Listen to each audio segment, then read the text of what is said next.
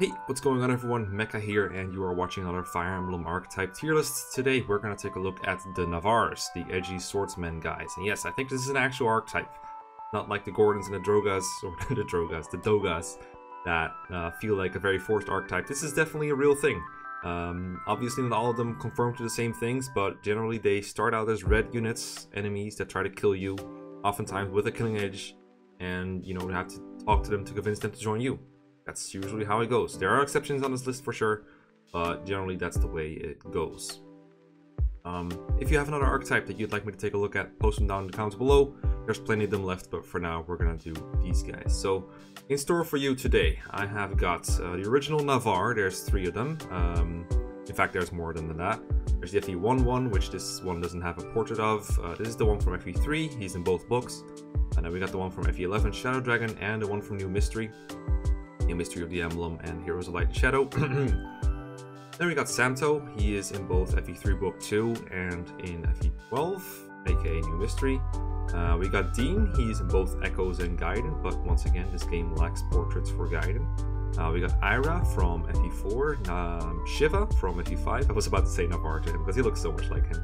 Uh, Trude from FE5, uh, Rutger from FE6, Fir from FE6, E from FE7, and yes, that's how I pronounce it, uh, Jaffar from FE7, Joshua from FE8, Marisa from FE8, uh, Zihark from FE9 and FE10, uh, Lon'qu from Awakening, uh, Ryoma from Fates, uh, he's only in Birthright and Revelation, and then we got Felix from Three Houses. I thought those were the best fits. There's a couple more you could argue could fit in here. Um, I decided to focus on those that start as aligned as an enemy, so that pretty much covers all of these. Uh, Jaffar is technically never your enemy in gameplay, but he is in the story. And since he's always using a killing edge and he fits some of the archetypes things better than Guy, for example, most of these are like an edgy kind of boys, whereas he is just like kind of a noob, it's kind of a dumbass.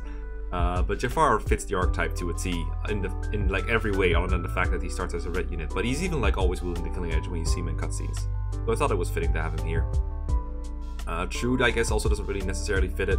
He doesn't ever ever have a killing edge, but um, nonetheless, he starts as an enemy Myrmidon, and I thought it would be nice to have him here because no one ever talks about Trude. so yeah, I thought it was a good excuse to put him in here. Uh, Marisa is like Marisa and Fir are like the only girls on this list, from what I can tell, uh, besides Ayra, who doesn't really have a male equivalent in her game. Uh, but for some reason, the games that Marisa and um, Fir are in for some reason they opted to like double up on the enemy Myrmidon with a strong killing sword thing. Like they don't actually have a killing edge, but they have the, the Shamshir or the Wodao, which are basically the same thing, but weaker with more crit. So I thought it was fitting.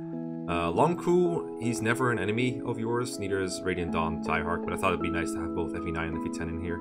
Uh, Lon'qu is like, he fits every single bit of the, of the Navarre archetype, except he's never an enemy. Uh, Ryoma is your enemy in Conquest, I guess, and sort of in Revelation. Uh, but I thought it was a good excuse to have a Fates character in here. I don't really know anything about the other Fates Myrmidons because I've never really tried any of them besides Ryoma.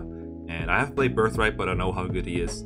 I have played I've played Plains Revelation by now to realize just how good he is, so I thought he was a good fit. And I mean, Felix, like Three Houses does recruitment so differently that you can't really have an Navarre archetype in there, but if there was one character that was based on the original Navarre, I think it'd be Felix. I mean, just look at the guy; he's basically the same thing, and he even has, even has a, like a chance-based skill to deal extra damage. So it can't get more Navarre than Felix in Three Houses, I feel like. So that's the collection of units I, I, was decided to go with.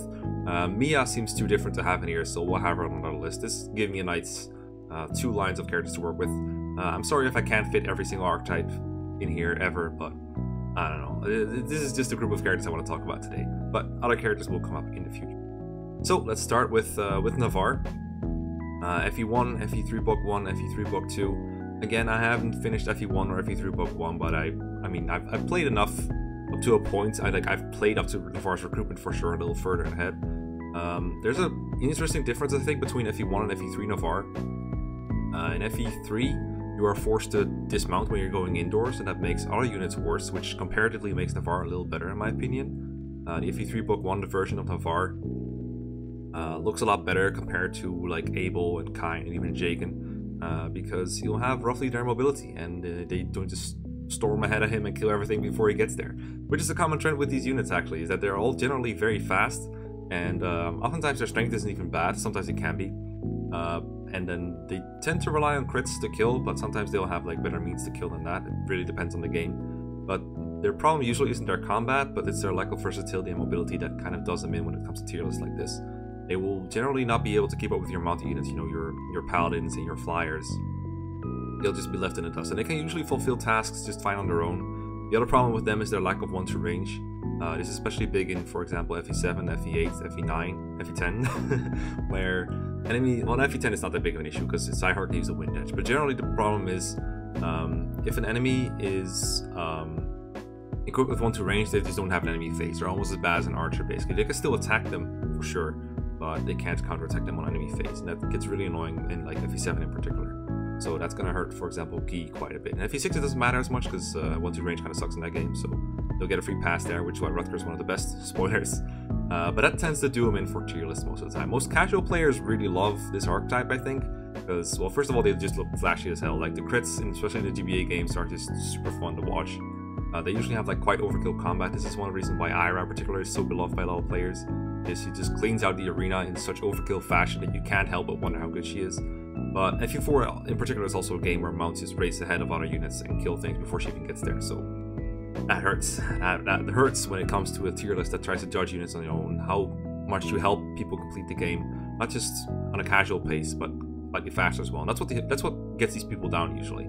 Uh, don't get me wrong, there are some good units in here. There's some really good units in here, but most of the time I tend to find it hard to like rate these above like on average really, because their speed tends to be a little overkill in a lot of games. In games where enemies are kind of easy to beat, uh, easy to double with most of your normal units, that's where they don't really shine in any way. Because if everyone doubles, then why is their own speed so good? The only other advantage they get out of their high speed is, yeah, it's just their um, higher avoid, and that's not even that reliable in a lot of these games. It doesn't even really work, and even if it is the case, they usually are more fragile than other characters. So overall, when it comes to their defensive prowess and like their ability to survive on their own, they're not even that much better than other units, despite the higher avoid. So that kind of sets them back sometimes. But let's stop generalizing. Let's look at like how good Navarre specifically is, because I was talking about him really, but I realized I wanted to talk about it a little more in general before I was going to say it separately for each of these characters.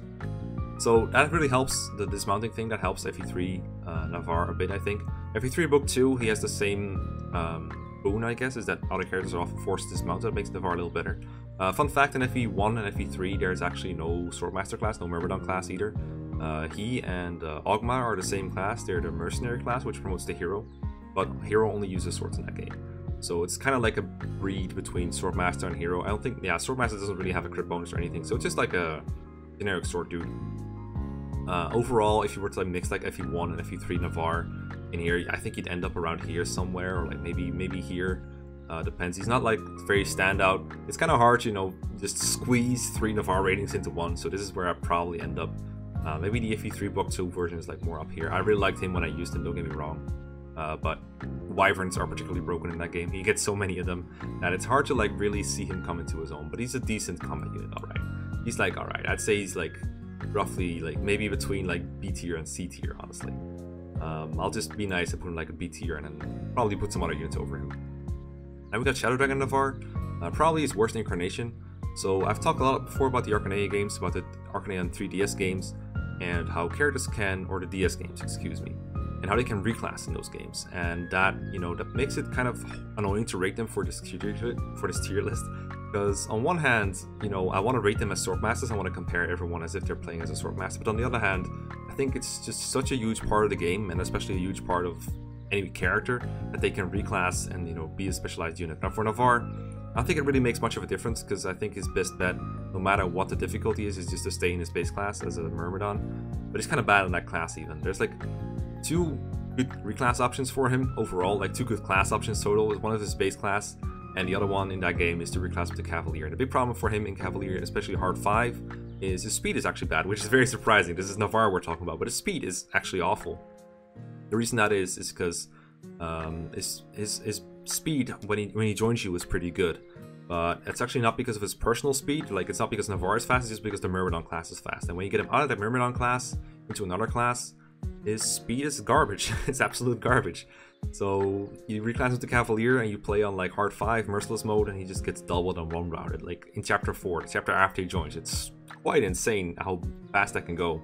Uh, I think maybe if he uses a sword, he doesn't get doubled, but when he uses a lance, he definitely does. Uh, and that's sad, because Cavalier and Myrmidon are the only classes where he can use his high sword rank. If we were to reclass him to, say, Archer, he would just have an E rank bows and terrible stats. Uh, reclass him to, like, anything else, and he's still gonna be bad. Into promotion, he can, like, reclass to Sniper or Swordmaster, or be those classes and be just fine, but in Shadow Dragon, you generally don't really have a point to that. Another problem for Navarre in Shadow Dragon is just there's too many enemy lance users, and swords are just very bad in that game because the weapon triangle is so impactful in your combat. You get less might.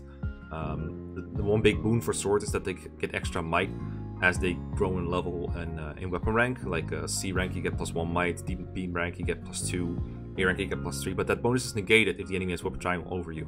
So he negates that bonus for himself whenever he's fighting anything with the lance, which is so many enemies in that game. He's really only good at like attacking archers, which is something anyone can do just fine. So it's not like there's a huge need for him. So I think he's one of the worst of these actually, even with reclassing taken into, taken into account. FE12 Navarre has a lot of the same problems, but in FE12 he has a lot more freedom when it comes to reclassing. Uh, in that game, you cannot only reclass to say Swordmaster or Sniper after promotion, or even before promotion actually, you still get open class options, because FE12 any male character can become anything as long as you've beaten the game once. You can reclass almost any class.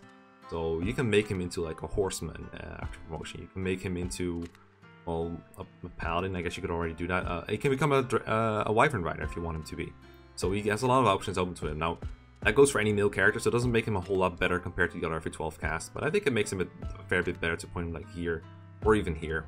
Uh, I think in fact I would say he might even be better than uh, FE3 Book 2 Navarre. Uh, when you take all that into account. I've seen him used effectively. He can work quite well. His bases are fairly decent in that game. Like in a, in like the Shadow Dragon games and FE1 games, FE3 Book 1, he's just uh, he's a Myrmidon joins early, so you have to like put a lot of work into him to train him up. But in FE3 Book 2, he joins like when you're about to head into the mid game, basically, is what I would call it. It's like chapter 6 or so. It, it sounds very early, but that game is, is kind of different in the way that chapters work. It's like it gets out of the early game very quick. Um, there's not much room to train, but he joins at a pretty serviceable level, I find. It depends on the difficulty, of course. I haven't played FE12 at like very high levels, so but I don't know we can work in that game. His growths are on par with the rest of the cast and stuff, so he can he can work quite well, and he's pretty fast. He's pretty nice. Uh, but really, his main selling point compared to other characters is his high sword rank, and uh, in FE12 he's a lot better off with that because FE12 has a lot more different enemy types, a lot of dragons to fight that can use Wyrmslayers against. So those are some good reasons to use Navarre. And then we got Samto, who's like uh, Navarre but worse in FE3 Book 2, and the same goes for FE12. Uh, he's pretty garbage. He actually imitates Navarre when he when you first see him. He's in like um, actually it's like chapter six where he joins. Navarre's chapter seven. I got that mixed up earlier. Uh, Samto is like he looks like Navarre when you recruit him, but when you, when you recruit him, he turns into himself. Uh, but he still can use the Killing Edge, which is okay. But in general, it's just the worst version of Navarre. I would put both of his versions around here somewhere probably. He's um, yeah, he's not that good. he's I mean his, his stats are just bad. He just has bad base stats. Really, that's the main problem with him. Uh, then we got Dean. He's in both Echoes and uh, Gaiden, and there's no Gaiden sprite. So I like Dean a lot. I think the only the biggest knock on him is his availability.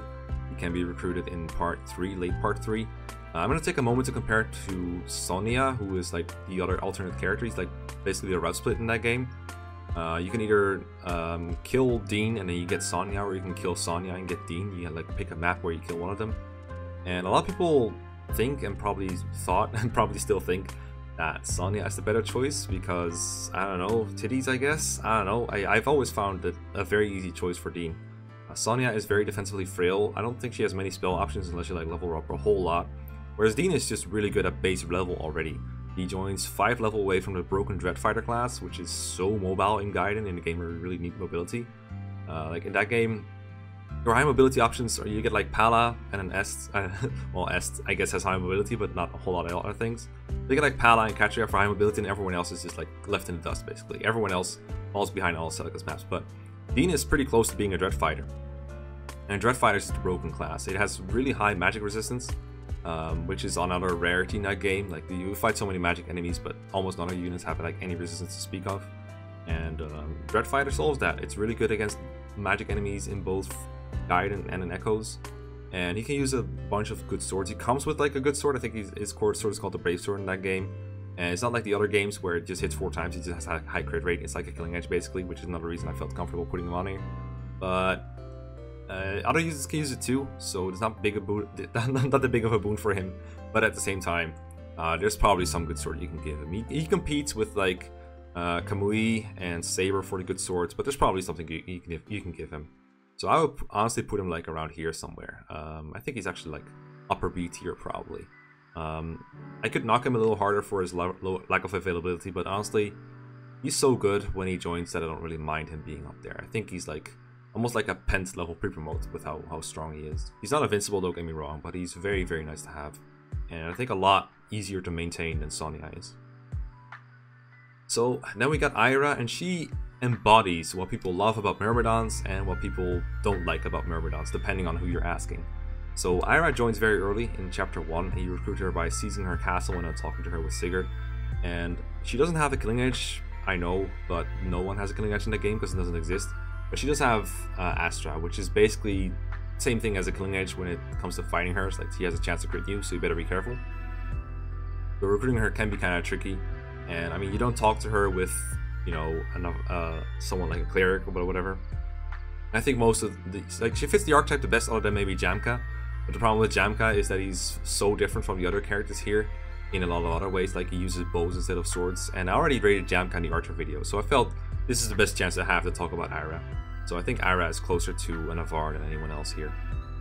Or rather than uh, than Jamke is. But I think combined they kind of make for the Jamke archetype, right? Or the, the Navarre archetype when you think about it. Because Jamke actually does come with like the only killer weapon in the game.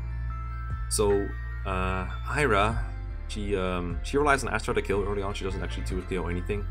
And a lot of your characters actually do that on their own, so she doesn't really stand out in that way. Like someone like Alec can already two round most of the bandits when you're, you know, when she joins. So she doesn't really stand out unless she gets Astra, which is luck based. You can't rely on it, so it's not very good. And then big problem with Ayra really is genealogy is just so mount based. You can use your unbounded units, don't get me wrong, and they won't be like bad or anything if you're playing slowly enough. But mounted units are so so much better at killing enemies sooner than unmounted units are. They are just infinitely more flexible. The fact that they have more movement on top of road tiles that give them even more of a movement advantage, and the fact that you often walk through like empty patches of you know land with no enemies on them means they get such a huge head start that unmounted units just cannot keep up generally. Doesn't mean that Ayra isn't good for anything. You can send her off on her own somewhere else along with some backup, and then she can probably get the job done there. But then she probably needs some time to return there, or someone needs to come and retrieve her with like a return staff or something. You kind of have to go out of your way to make use of Ayra. You have to slow yourself down to make use of Ayra, and she can't really survive on her own. Uh, her durability isn't very good, and dodging is not a very reliable strategy for her in FE4. Not before promotion, anyway. I know that after promotion, she actually becomes really good. Um, almost any, anyone becomes good after promotion, but Ayra really stands out in her own way. She gets Adept, which she didn't have before, and she, like almost anyone else, has a good promotion bonus. I think she gets like 5 speed on promotion or something. Um, she she does clear the arena, but I think almost anyone in FE4 can clear the arena given enough, um, like, given the right items, given the right tools. So I don't think that's a huge standout trait for her. Like, I like using Ayra for fun, but I don't think she's very good. I don't think she really holds up when you're comparing, like, I think all mounted units in FE4 are pretty much better than Ayra. And I know that sounds strange, that someone like Alec could sound like they're better than Ayra, but when you think about it, if you don't if you don't slow down for Ayra, what is she gonna do on a map? She's not gonna do anything. So you have to hold your whole army back just to accommodate Ayra, just so she can do anything. That doesn't seem very good to me. So I'm gonna I'm gonna put it like around here. Uh, I don't think she's as bad as Samto, not anywhere near that bad. Uh, she's quite salvageable. Like she's not bad at combat. She's just bad at getting into combat, and then when she gets in combat, she's not even that great at it. She's like slightly better than your you know, average mount at it. Not great. It's, she's okay. Uh, then we got the Kai I just kind of called Navarre because he just, I mean, just compare their portraits. Just look at him. He's just so similar. Uh, but this is Shiva from Fire Emblem 5, Thracia 776. And he's very traditional. He has relationships to both Lifis, a thief, and um, what's her face? Safy? Uh, maybe I think she's like Safia in Project Exile. So, and a cleric. So, there's very traditional Navarre style things. I don't really get what his relationship is to Safia. He just kind of tells Lifis to like keep his hands off her, but he doesn't really talk to her ever again, other than that recruitment convo. Uh, but you know, he's a, he's the Navarre of the game for sure. He even has the killing edge. I don't know why I'm justifying this. Uh, a lot of people like to capture him in the Gaiden chapter you first see him in to get his killing edge. I think that's a huge pain in the butt, and I would never bother doing that because, I mean, just trying to capture him on a fort that gives him plus 10 defense while you're having the character's capturing characters' def- um, offenses through capturing is just so bad and annoying. And every turn you're trying, you're risking yourself getting crit unless you trade yourself to scroll, which a lot of people don't even do. I think they just risk it and they just kind of safe state until they get killing edge, which is very risky and very bad, but you can do it, I guess. Anyway, uh, his performance, he's uh, he's okay. FE5 is another game where you can dismount indoors, where you have to dismount indoors. So that gives him a bit of an edge that, for example, Ayra, there's no indoor maps where Ayra and her friends have to dismount, so she's always going to be in a move disadvantage. But Shiva is completely fine in that regard. He can have more mobility than most people. Like, if, if you put Shiva indoors, he has 6 move in his unpromoted class and then 7 as a Swordmaster. Whereas um, Ayra is always facing like a like a move disadvantage. And then like Shiva's peers, like his, his dismounted peers, his unpromoted peers, they have like five move indoors. So Shiva's definitely has a mobility advantage in some cases, which helps. Um, one problem with Thracia, I guess, is that Shiva doesn't have one to range as much as um, say mages do. But compared to other physical units, he's not even that bad off. Uh, he can use Thunder, Fire, or even Wind Swords somewhat effectively. His magic is kind of low, but you get those swords quite early for the most part, except the Wind Sword. And he has a really high critical rate thanks to his hyper critical. I think he has, I think he has four or five. I'm not sure, but he has like a lot of crit, and he has a support with Safy that can boost it by like basically that much. Like um, Safy gives him 10% crit, and on his second hit, if his pursuit critical is five, which I believe it is, then he gets plus 50% crit, which is insane. And with the killing edge, he just has 100% period on second hit. So we can one out enemies when he needs to. And that also helps when using magic swords. If you use the Thunder Sword, for example, you will get plus 5 skill. That can be plus 25% critical. but that is very good. So Shiva combat-wise, no problems. Uh, the, the magic swords are kind of rare and there's more people who want them, but he has a high sword rank that a lot of people can't really match. And some there are some good sword users in Thracia, but a lot of them have their personal swords. Uh, Leif and Nanna both have their own personal swords, so they're not really wanting of a magic sword. So he's a good candidate for them. I like him. So I think Shiva's okay at combat. The problem with Thracia with Shiva, I think, is that there's just not that much combat to be done, period. And Shiva doesn't have a lot of utility outside of combat. Like some people can capture or use staves or dance or pick locks or steal. But Shiva can't really do anything of that. So whenever there's like a utility-based chapter where you're doing something other than just killing a lot of enemies, Shiva isn't very good. And I think while Shiva's combat is like decent and up to par, it's not as great as some of your other units' uh, combat stats probably are. Um, like, I don't think his stats are as good as, for example, Dean's or Ralph or Orson or Asbel. Like, those those are some insanely powerful units with, like, uh, some of them even have good one to range, like Asbel and Orson. Shiva's one to range is okay. So I think Shiva's like a decent combat unit that can hold his own, but I wouldn't put him like any higher than this. I mean, I'm I probably put him like over the Navarres probably. I'm more familiar with Shiva than the Navarre, I will admit, uh, but Shiva strikes me as a bit better. It does have Soul, which a lot of people really like. It's like this thing that like it looks like a very effective skill because whenever you, it's like a good effect. You heal HP whenever you hit someone with the skill activated. But I think whenever if if Soul saves you from dying, which I think is the main thing it, it should be praised for, then you didn't really play the game well. I think. I think if if Soul saves you from dying, you probably shouldn't have put that character in that position to begin with, because if you didn't activate Soul, he would have died. So you're relying on luck to survive, which I think is a bad idea in a strategy game. So for that reason, I really give a whole lot of credit to Soul. Unless you're like fighting a ton of enemies and Shiva is dying in some number of hits, but in order for him to die, like all enemies have to hit him, or almost all of them have to hit him. In that case, Soul can act as like an extra cushion, and I pronounce it. I always mispronounce at least one word in these videos. Uh, but it can add a, it, it can add like an extra check that the enemies have to go through. It's like, okay, not only do we have to hit Shiva every single time, but we also have him have to have him not activate Soul. And the skill is pretty good, and it's skill percent. So if his skill is like 15, and every every time he hits someone, he's like a 15% chance to hit him with a Soul. And every time he heals himself through Soul, that's like another hit negated. So that can be pretty good in the long run. But if there's like three enemies that can kill him in range uh, in like two hits, something like Soul is not something you should rely on.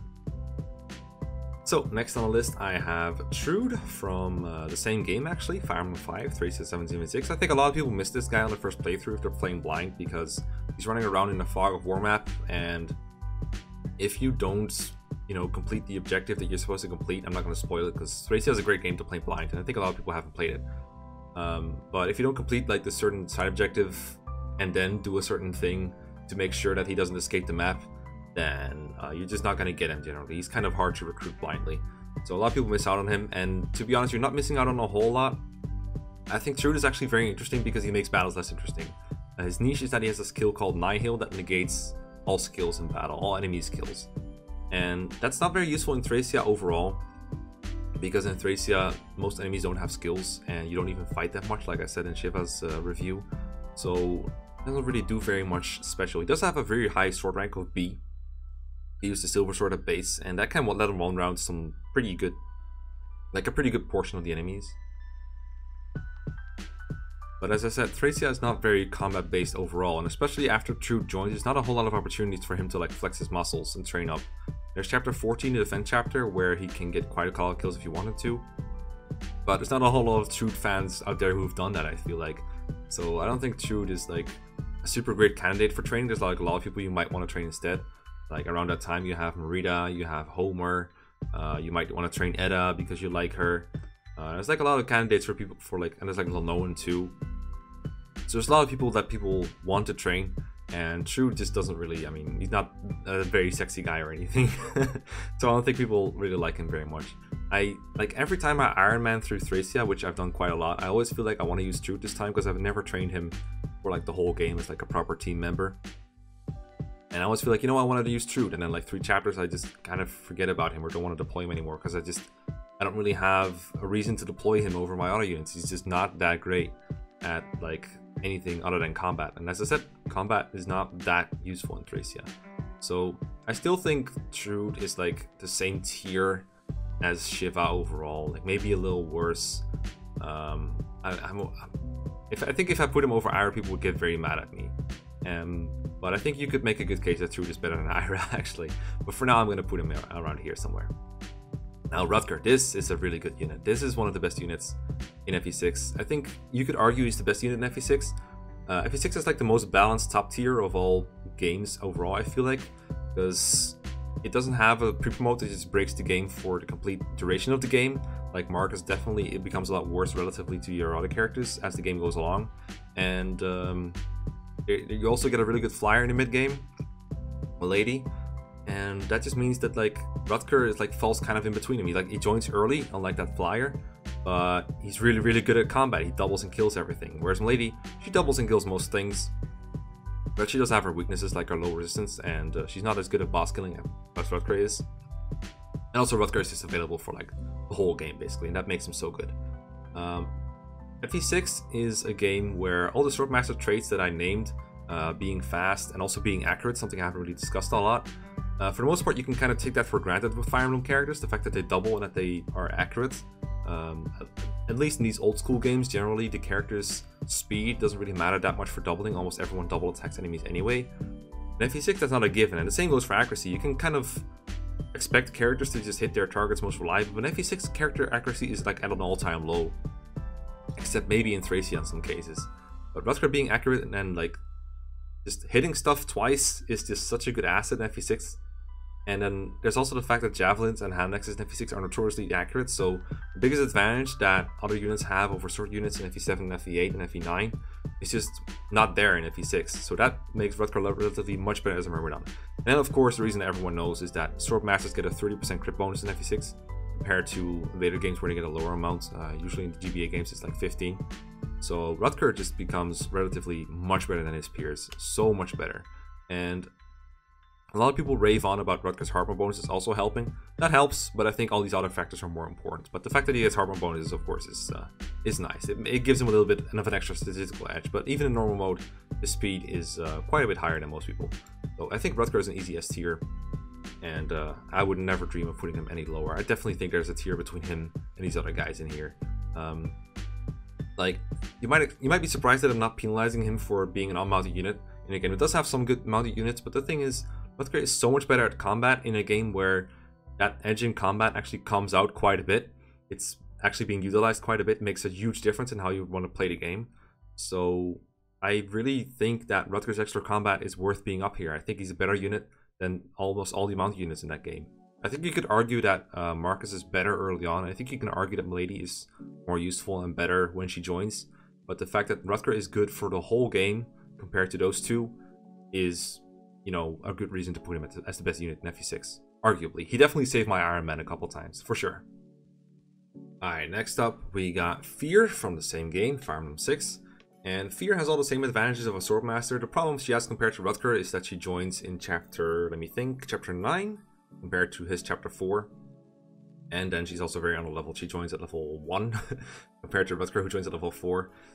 But let's forget about Rutger for a moment because pretty much every unit in FE6 loses a comparison to Rutger. But what we really care about here is how good Fir is in FE6. And I think Fir is actually pretty decent. Uh, she has all the same perks that the other Swordmasters do, it's just she comes on a level, but doesn't come underpowered. And I think people often look at a character's level too much when they're trying to decide if a character is worth using, if they're under leveled. Like, it implies they have some kind of disadvantage against enemies, but I think it's important to look at how they perform against enemies before you judge that, because if they do fine against enemies at their base level, then really the, the, all the level is is an indication that they're going to get a lot of XP for kills and chipping.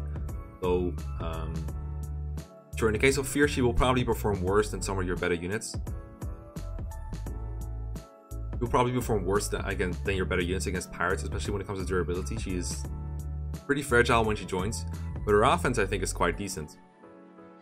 He has around 9 to 10 strength on hard mode, I believe, and then like good enough speed to double with anything but like a steel sword or something. Uh, but with the Wo Dao or the Iron Sword, she will double, no problem.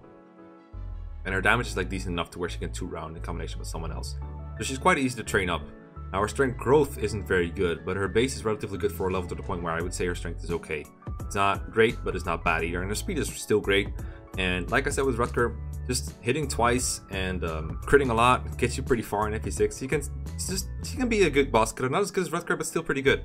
Like I'm trying not to compare her to Rutger too much, because really on her own right, she's a decent unit. Not amazing, but I think she has her own niche. Uh, I don't know if I'd say she's better than Dean, because the Dread Fighter class is really like super useful. But I think Fir has an easier place. Uh, it's like a better argument for being on a team in FE6 than um, than these other guys have in their own games. I think Fir is a pretty goddamn okay unit. pretty goddamn okay. I mean, you know what I mean? Just Sword Masters are just good. That she gets that 30% crit bonus in FE6. It's so welcome. Uh, she has super high speed. It lets her double even enemy mercenaries and enemy, enemy myrmidons at some points. That's really good. He's just fantastic in that regard. And um, I don't really like to talk about supports very much because they're so slow in the GBA games. Uh, but if you're playing with supports on, I do like that she has a relatively fast support with Shin. And that gives her some good bonuses. I believe she has like a fire affinity and Shin is like ice or dark, I believe. So that's some avoid that you can get that can also be pretty nice. That's the reason that a lot of people like Rutger. So I just think it's a fair thing to bring up for Fir. Let me just double check that the abilities are, that the affinities are correct though. Yeah, so Fir is fire and Shin is ice. So they get full avoid from that. Uh, not full crit or uh, full attack, unfortunately, but still pretty good support overall. Although, actually, it, it grows pretty slow, and uh, it has a 1 base and 2 growth, so it's not that fast as I was hoping for. But it's, it's still an option, I guess, if you're okay with support of using. But even without that support, I would still consider it roughly this good. And we got Guy. Uh, I'll just like briefly elaborate why I pronounce it like that. So I pronounce it this way because Don Don taught me to pronounce it that way. And Don usually reads these names in Japanese before he checks their pronunciation. And if you look at uh, the Fire Emblem wiki, good one, it actually says his name in Japanese, and it's it's written like G I I as the original romanticization. I think it's what it's called, romanticization, whatever. And I actually had someone check it for me, and she's like not a native uh, Japanese speaker, but she likes to study Japanese. And uh, she also says it's written like that and pronounced like that. So I'm going to take her word for it, pronounce it as Gi. And I was very, it's very tempting to just pronounce it as Guy because that's a word in English. But as far as I know, it's Gi, and that's just what I'm going to be used to. And Gi's alright. I don't think he's great though. I, I think Gi has a lot of same issues that Ayra has, except that he's also in a game where javelins and hand axes are such important assets to units to function on enemy phase. Like FE7 and FE8 just have a lot of enemies that are very weak, but that you can one round with a javelin or a hand axe. And if you can't do that on enemy phase, they're just like basically like an archer, and that's super super annoying to work with. And you, speed is complete overkill. Enemies are not slow enough to not get doubled by like even Lowen and even Oswin, slow units like that can double in FE7 every now and then. Not everything, but enough. And then even if they can't double, they are still more productive against Dengi against like a, a weak mage or some kind of soldier with a javelin or you know stuff like that. They're they're too weak if you look at the map, like the, the pirate ship with all the shamans, you got enemy phase is a complete sitting duck. Like every shaman is just gonna hit him from true range until he dies. Whereas if I put someone like Oswin in there, you know, he, he might take some damage, but he's also gonna just can either one KO them if it's like a low difficulty, or he can at least two KO them, and he can like you soften them up for someone else to kill at least. That's good. That's helpful. He isn't doing anything on enemy phase. Also, FE7 and uh, FE8 just have a lot of enemy lance users, and weapon triangle, perpetual weapon triangle, it cuts into his damage, which is already very limited because all these units have some level of strength issues, but Guy definitely has some strength issues. I know he gets hard bonuses, those don't fix him. Those don't make him 2 KO enemies unless he's using like a he's, he's critting with the killing edge or he has like his like steel blade which weighs him too much down too much to like 2 KO. He generally isn't one round KOing without a crit a lot of the time, uh, unless it's like a particularly weak enemy, like maybe a mage or something. So that kind of sucks. And then like even further decreasing his power because of weapon triangle advantage, and then also um, the enemy just has a higher chance to hit him, which cuts into his avoid advantage. All that shit doesn't help. It really doesn't help. So Guy being a sitting duck on most enemy faces, I would actually put him like maybe here, but honestly I put him around here. I really don't think he's that great. The availability and like he has some early game utility. Like when he, when he joins that early on, he has some time where you don't really have a lot of alternative options to use him. Another thing I don't really like about Guy, though it's more like a personal preference or like a, a weird thing. Uh, there's like one chapter in FE7 where uh, the game kind of decides for you which path you're going to go. It's like a route split, a mini route split. Uh, either you're going to go to the Kenneth version or the Jerme version. And the Kenneth version, you go to that if you're Guiding Ring users minus Canas are at a higher number of XP than your um, Hero quest users like Guy, Dorcas, Raven, Bartrick. The game adds up the XP gained by them in Hector Hard mode or whatever mode you have to be playing, but not Lyn mode. And it's like, okay, if, if, if you if your Hero quest users have gained more XP, then you go to Jerme. If you if your Guiding Ring users have gained more XP, you go into Kenneth. And uh, the Kenneth version is much preferable because it's uh, it's seas instead of routes, and you have to face the snow less, so your mobility is less limited. Whereas the Jerme version, it's just horrendous. It sucks. It's such a pain to play. Now, I'm not gonna hold this against Guy because it is just a route split. It's just one chapter, and I don't even know if it's like a valid criterion to like put him lower because of one chapter route split. But it is one reason I don't like using Guy for personal reasons, though. I just thought I'd bring it up as like an Easter egg. Uh, then we got Jaffar. Uh, again, kind of a weird inclusion into the list, but uh, I think he fits the archetype to a T for the most part. And uh, I think Jaffar is actually really damn good in uh, late game. Uh, again, just like Dean, the only thing really wrong with him is that he joins so late. And I mean, the lack of two range still hurts, don't get me wrong, but Jaffar joins at just the right time before Cog of Destiny and Hector Hard mode, and I'm judging these units on the highest difficulty setting generally. And Hector Hard mode means that Cog of Destiny is filled with 1-2 range enemies, but a lot of them are Valkyries. In fact, if you're facing the reinforcements, you're facing a lot of Valkyries, and those are very tough to kill for most of your general units. Like, for most of the game, a unit like Heath or, um, say, Hawkeye or Geitz or Oswin, they will do fine against most enemy types, even though their res isn't too great and their speed isn't too great, they have the tools to take care of most enemies. But of Destiny kind of turns around, throws a bunch of magic enemies at you, and suddenly resistance becomes kind of important, and against Valkyrie, speed becomes kind of important, because they have, I think, around 17 to 22 speed, so they will double you. They'll double someone like Oswin, they'll double someone like Geitz or Hawkeye quite easily, and they can Pure Water to mitigate the damage a little bit, but their offense is gonna suck because they need to Brave Axe on, any, on like player phase or like Brave Lance or something like that, and uh, hopefully hit. Or they need to like want to range them on enemy phase, and they won't double, and um, the enemies might heal themselves because the Valkyries all have like physics stabs and shit. It's very annoying. So you're up the creek without a paddle, without a good way to just one round these Valkyries, and that's what your Jaffar can do. You can double them at base level. He's like 24 base speed, which is insane. So you can double all with like, the fastest ones, and even some of the fastest ones they weigh themselves down with Hellfire. So your Jaffar has a good niche where he can kill enemies, and it's kind of similar to what Rutger does in FE6. He has high enough speed to double and enough to attack to tooth KO, and he has high accuracy against the enemy with high avoid. Like one of the things that made Rutger really good is for boss killing is that he just doesn't care as much about the throne bonuses that uh, FE6 like to give to his bosses. They get like 30, 30 extra void. It's kind of like what the Valkyries have, and uh, kind of like a throne on themselves because they're so dodgy. That's what makes Jaffar really good in that area. I still don't think he's as great as like Fir is, for example. Uh, I think like you could argue like anyone with some semblance of ability is, is like better than him. Uh, I do like Jaffar's fighting powers a lot. I like him a lot more than like Ayra, who for me it doesn't really do anything that I can't really get done with anyone else. I think Jaffar has a much better niche. Um, Joshua and Marisa have the same problem that uh, Guy had, where Murder just aren't very good in that game. because you know you need one to range more than you need overkill speed, and the extra void doesn't really help your durability very much. FE8 is less heavy on lances than FE7, but it still has lances as like the most common enemy type, so the same problem still plagues Joshua just to a lesser extent. I think Joshua's strength is a bit more salvageable than Guy, context of his game, and I think there's a bit more enemies that the speed is useful against, so I, I would put Joshua a little bit higher. I would even put him over Ayra. I think Joshua has some decent early game utility for the most part. I wanted to use him in my current Iron Man run, but the problem I'm finding uh, is because like in my FE8 Iron Man run right now, I increased the enemy growth by 30%, so everything is very different. Uh, all the enemies are quite a bit stronger, but I, there's just so many other units I want to use in the Iron Man run.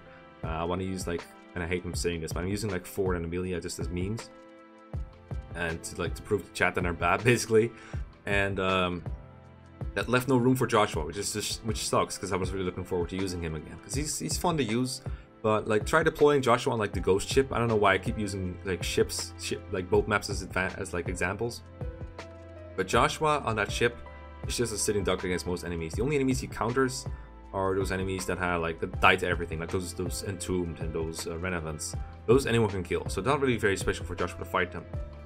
But then if a Mogall flies up to him, it's gonna go uncountered. If a Gargoyle with a Javelin flies up to him, or like even a Gargoyle in general is just kind of good against Joshua. Because he faces Whip Triangle disadvantage, uh, does quite a bit of damage to him. Uh, very accurate against him because the Whip Triangle. He's just very bad against like almost every enemy type there. He's very bad against the boss too. It's, it's not good in those situations, really not.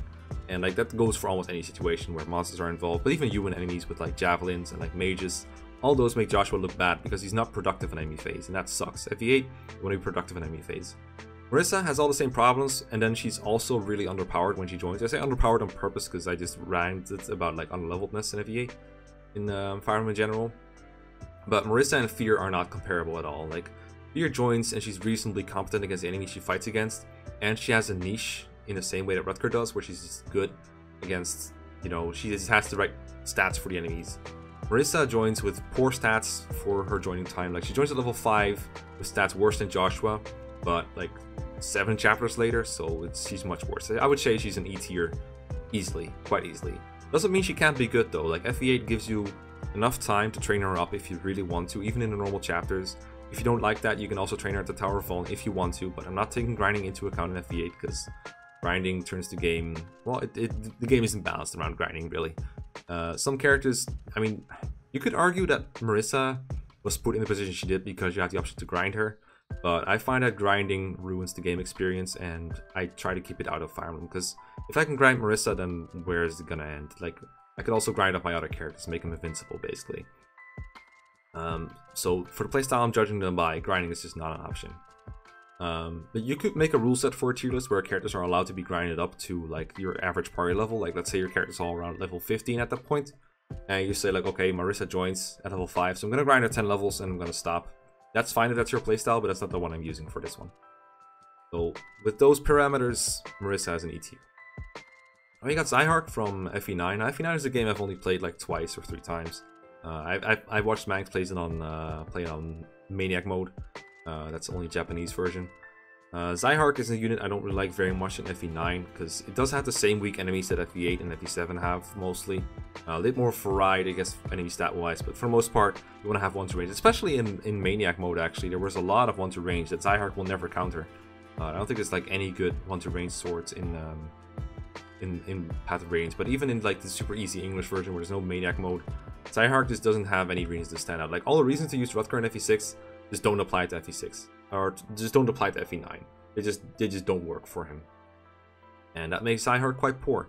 He does have Adapt, which is cool. Uh, FE9 doesn't really let you swap skills around like FE10 does, so that Adapt skill is very nice for Zihark, and only he can use it. If you take it off, and no one else is gonna get it. So it is quite good, but he doesn't like it, it doesn't really help him very much. Like it's still too weak to two hit kill most of the time, for what I remember. And again, almost everyone else can double two. Like even Ike, who doesn't have like standout speed, just good speed in general, or like Kieran, Oscar, etc.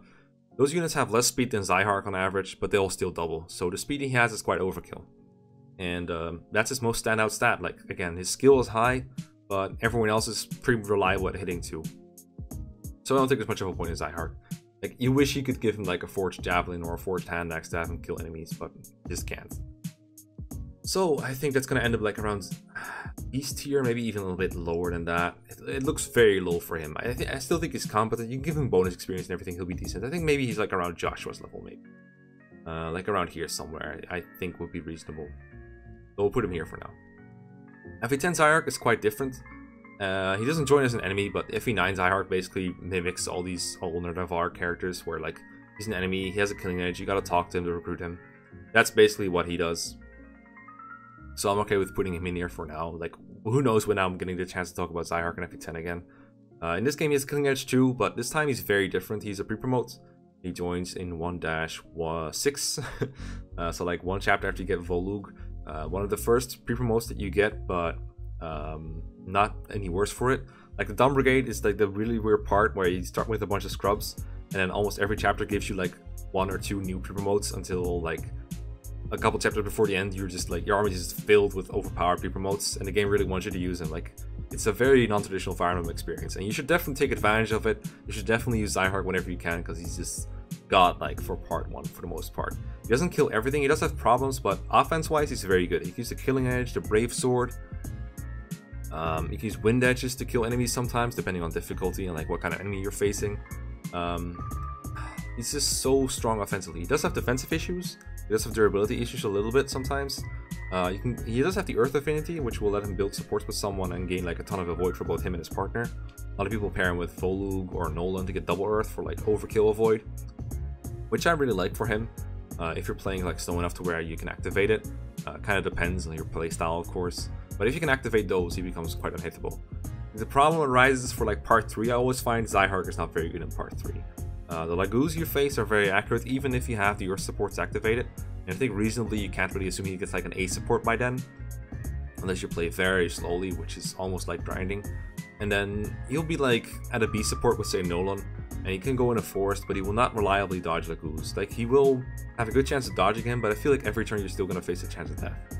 And that's very bad for Zihark. You don't want to face chances of death. Chances of death is uh, a no-no in my eyes, especially when the maps are as long as they are in FE10.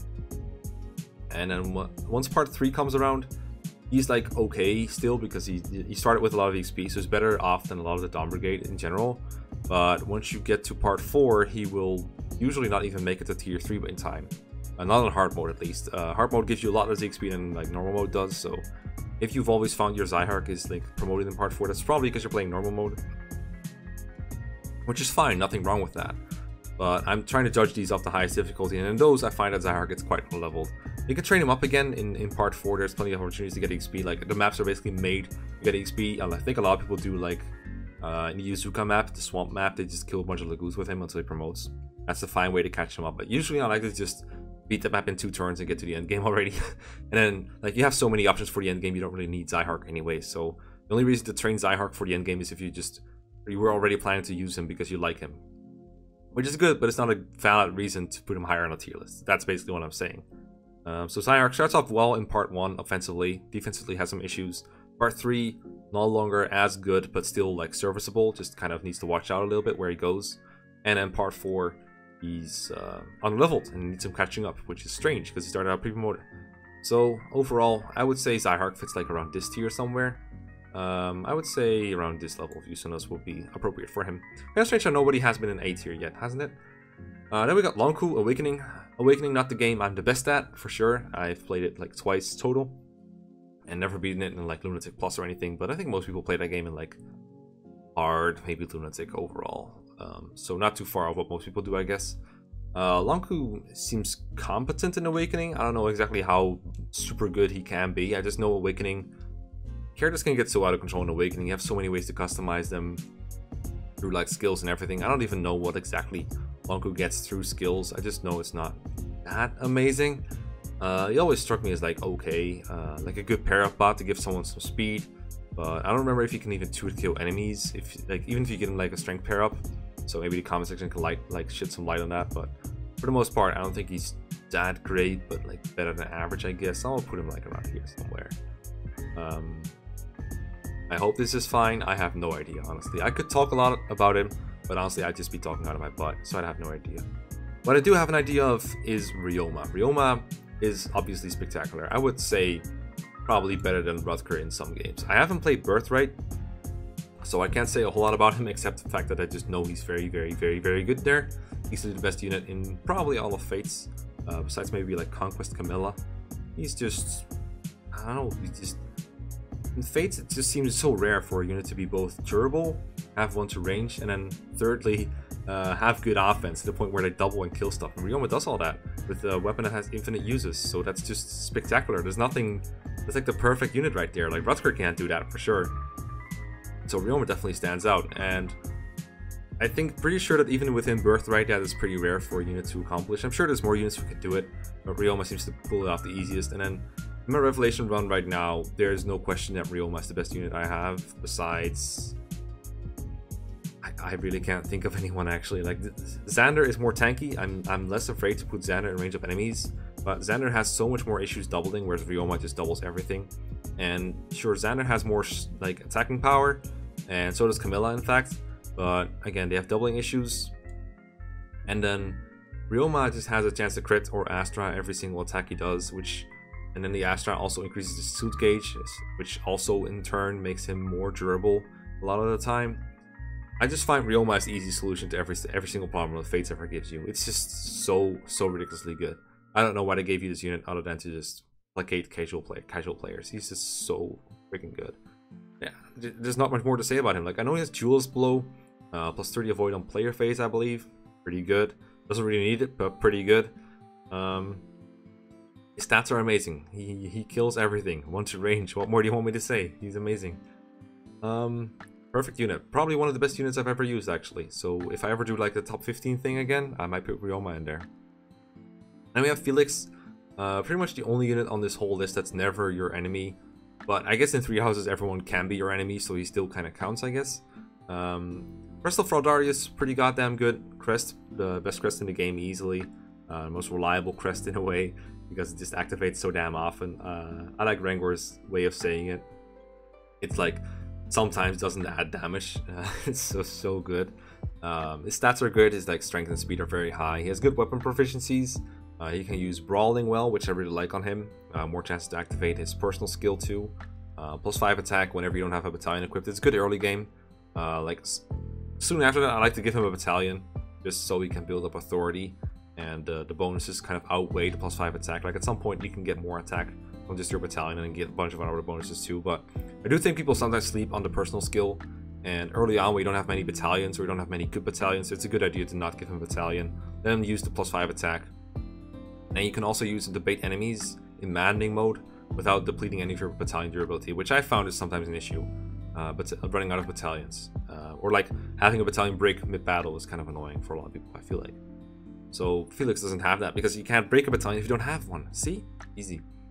And uh, yeah, I mean, Felix's stats are pretty good. You can make him almost anything you want, but most people, I think, make him either a War Master or I think a lot of people, when they play, play the game for the first time, they might be tempted to make him like a Sword Master or a hero because he says he likes swords, but I don't think that's the right choice for him. I made him a Wyvern Rider in my first playthrough, then I made him a War Master in my Blue Lions playthrough, which was my second playthrough, and then I went with um, Sniper actually for uh, Crimson Flower Maddening playthrough, which was my first Maddening playthrough.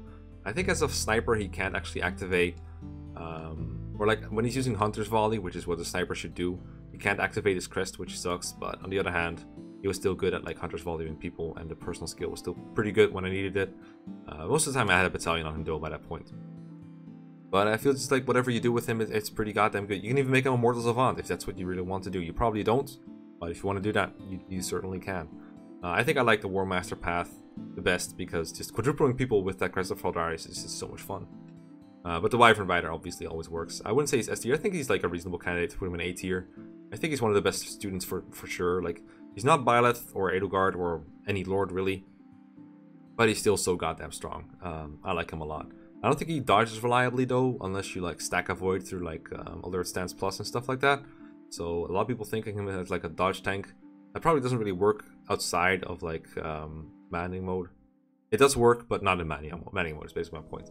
But generally, I think Felix is uh, pretty damn strong. So that's the tier list. Got a nice uh, little staircase going on here. A lot of people in B tier and less than C, less than D, less than E. Uh, honestly, I thought they'd turn out a bit worse for me, but I think I was uh, I was uh, quite nice to them overall.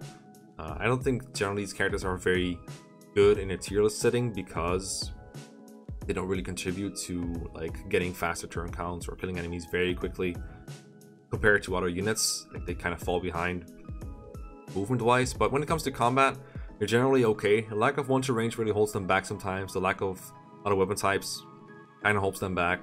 But that doesn't mean they're bad. I think generally when people use these, they are satisfied with what they get, which is flashy animations, good speed, and good enough combat performance to where you can like work around the shortcomings a little bit. They do have those shortcomings though. I think that is very important.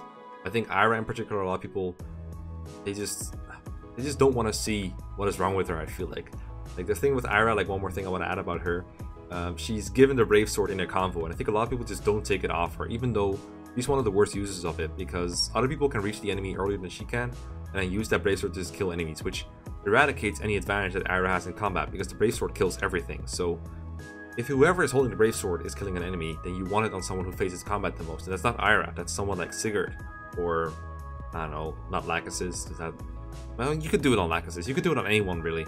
Anyone mounted can make a better use of the Brave Sword than Ayra can. But people leave it on her, and then they say it's it's like Ayra's so good with Brave Sword. And I think for in the same way, a lot of the sword users here get praised for the utility of the Killing Edge, when really you can trade that around. Sometimes other units don't have the sword rank for it, but when they do, you should try giving the Killing Edge to someone else, because know it's not their personal weapon. So I don't think they should get get credit for how good it is. Sometimes it works best on them, uh, especially if they're double attacking, where someone isn't. Uh, there's certainly situations where a Swordmaster can be a very niche thing. Swordmasters are fun to use, but I think they're they're okay. They're not great. a lot of Swordmaster fans, they say this unit is great, this unit is perfect. Not perfect, but can be pretty damn good. Thank you for watching, and I will see you guys next time. Let me know what other archetypes you want me to take a look at. Peace and goodbye.